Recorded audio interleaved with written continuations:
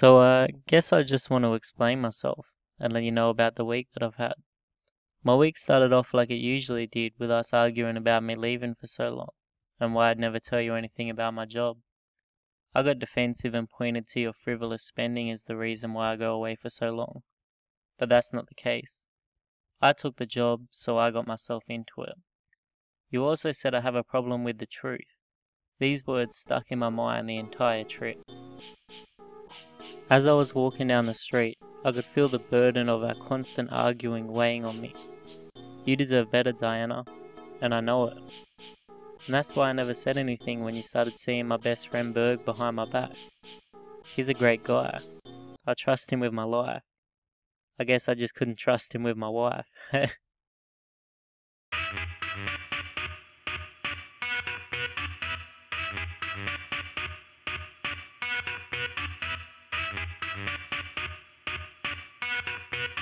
I got to work and Larry was hanging about in the hallway like usual.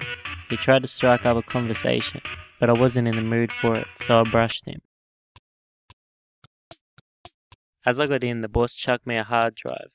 He said we had three ships down in different quadrants and three fleets ready to go to war.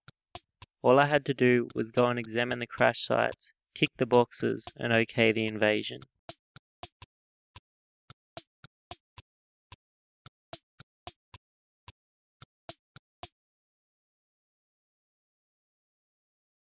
So first I went to the 22nd planet of the 5th quadrant and got to work searching the ship.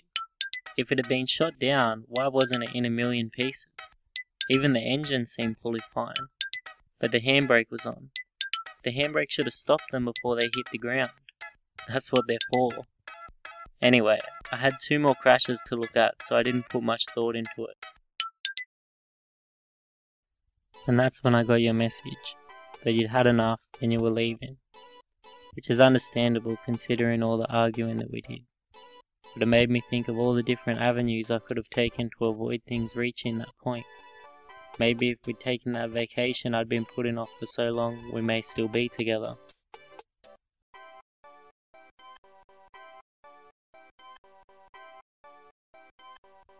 But oh well, I couldn't dwell on it for too long, because I still had work to do.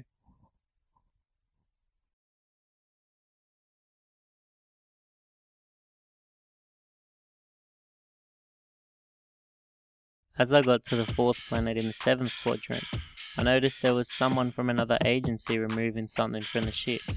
A programming droid. I hadn't thought to check the droid of the other crash, and he seemed reluctant to hand it over.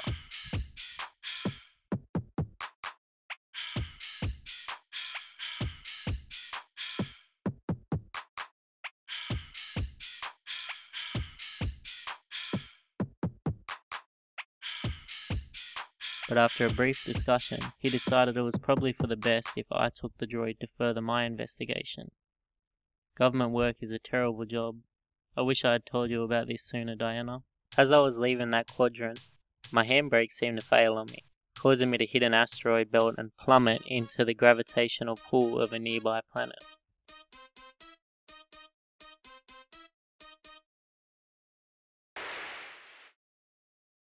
After a bit of a bumpy landing, I climbed out unscathed with the droid's hard drive in my pocket. This planet was beautiful, Diana. It would have made a nice vacation spot. In the distance, I noticed some type of structure, so I made my way up there.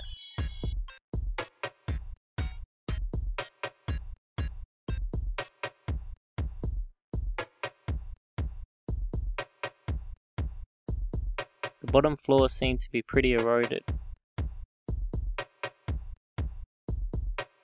So I checked upstairs, found a computer. I checked the coding on the drive and found that the droids had been programmed to make the handbrakes fail. So I called my old pal Berg at the news desk to come see me and I got some rest while I waited. I woke up to Berg charging into the room. I explained to him that the government was causing these crashes themselves and we had to get the word out.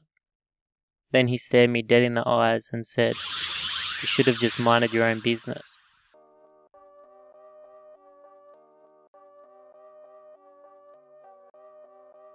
So now I lay here dying from a gunshot while I leave you this voicemail, Diana. At least now you know the truth.